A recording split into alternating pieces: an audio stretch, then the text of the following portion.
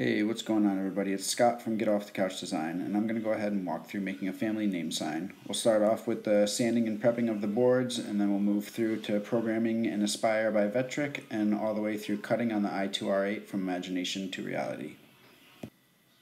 Alright, so first thing I'm going to do is, once I have my plywood cut to the size I need, I'm going to go ahead and sand everything. I just run it through uh, 120 grit, and then apply some early American stain to each one with a blue shop rag.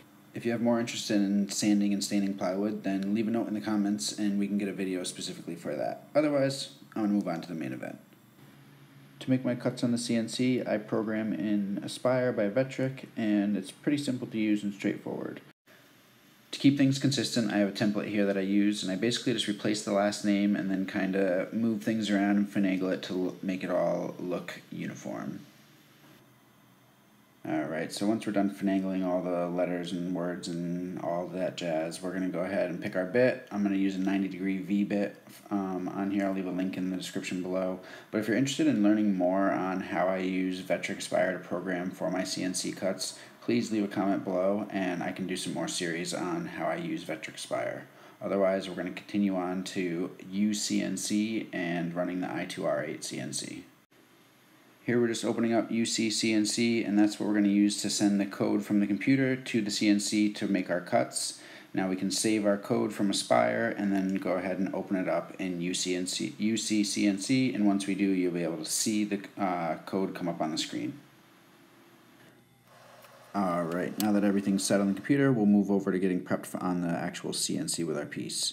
I like to use this X-Fasten double-sided woodworking tape. It's super strong and easy to use. Just put it on, rip off your back piece, and then secure it. I have a little um, X and Y set up here from a carpenter square that I used, and would line it up right on there. Then we'll go ahead and get our zero point. By using the carpenter square, I'm able to keep my X and Y zero in the same spot, but the Z changes with every piece. So I like to use this go to zero button and it puts your point right on the zero.